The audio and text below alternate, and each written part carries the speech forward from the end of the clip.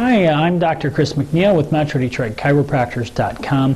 And often I'm asked by my patients, can a uh, neck pinch nerve cause numbness or tingling in the hands? And, and the answer is yes.